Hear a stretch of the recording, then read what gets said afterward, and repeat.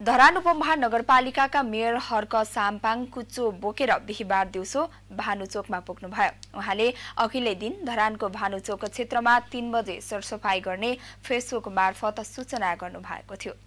धरानको मुख्य भानुचोकबाट सरसफाई थाल्दा आफ्नो घर आँगन र सडक सफा राख्न सचेतना फैलिने सोच राखेर कार्यक्रम सुरुवात गरिएको हो। उहाँले सरसफाई गर्दै गर्दा बाटोमा भेटिनेहरूलाई फोहोर नगर्न पनि सम्झाउनुभयो।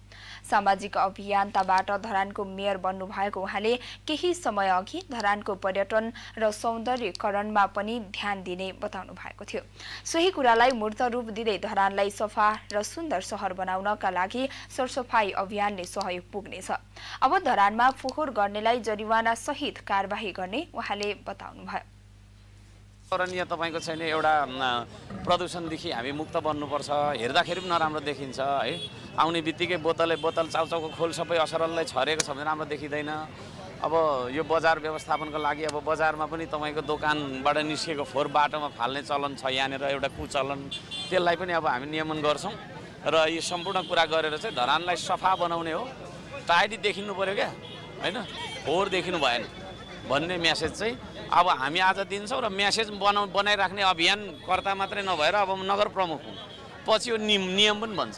र कोही कसैले त्यस्तो तपाईँको छैन अन्जानमा गऱ्यो भने त्यसको फाल्टै होला।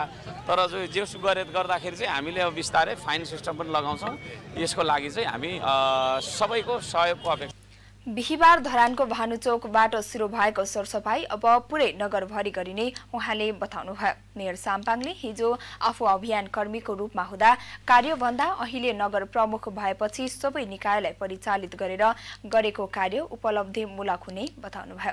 खानेपानीलाई मुख्य मुद्दा बनाएर चुनावी अभियानमा होमिएर धरानको मेयर बन्नु भएको साम्पाङले बुधबार धरानको पानी आउने मुहानमा नै पुगेर वस्तुस्थिति बुझ्नु भएको थियो। उहाँले त्यहाँ मुहानको सरसफाई गर्न र फोहोर नगर्न निर्देशन दिनुभएको थियो। यस्तै धरानको विष्णु पादुकामा बिजुलीको महसुल तिर्न घुम्ती काउन्टर राख्ने पनि उहाँले जानकारी दिनुभएको छ।